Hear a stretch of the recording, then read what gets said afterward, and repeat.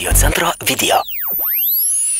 Žiūrėk, publika klausytojai ištroškia, reiškia, tavo ne tik kalbos, bet ir to, kad tu galbūt dar geriau mokai repavimą. Aš nuimsiu foną, aš žinau, kad tu nenori, tu esi pavargęs, tavo galva sakė va tokia, ne, parodyk, va tokia. Nu, tokia ištinus. I- Ištinus galva.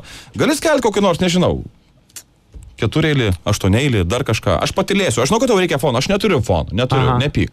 Gali ant tylos pavaryti. Pavaryk, Ali. Na gerai, ištemkit ausis. Važiuojam.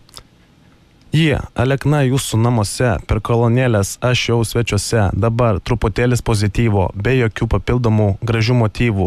Širdis jaučia, kad šventės jau artėja, juk eglučių ant kiekvieno kampo daugėja. Sniegas ledas padengia asfaltą. Išgerkite arbatos, kad jums nebūtų šalta. Apkabink draugus, artimus visus. Tikiu emocijų per šventės daug gerų bus. Ačiū tiem, kas nepamiršo.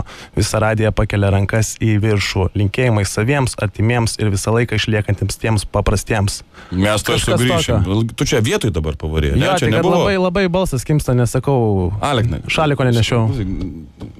Nesiteisink gerai, nes Gerai, gerai, viskas yra atsiprašau. gerai, nu ką dabar atsiprašinėjai, viskas čia buvo Gerai. labai gerai, tu čia iš galvos viską išvarai. Nu jo, apie šventės kažką. Man patiko labai.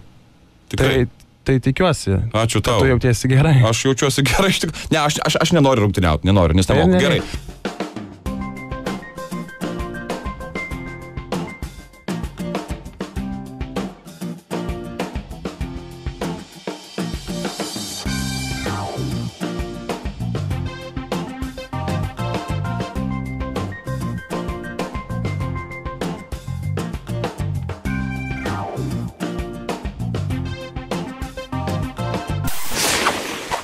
Įsijunk gerą nuotaiką.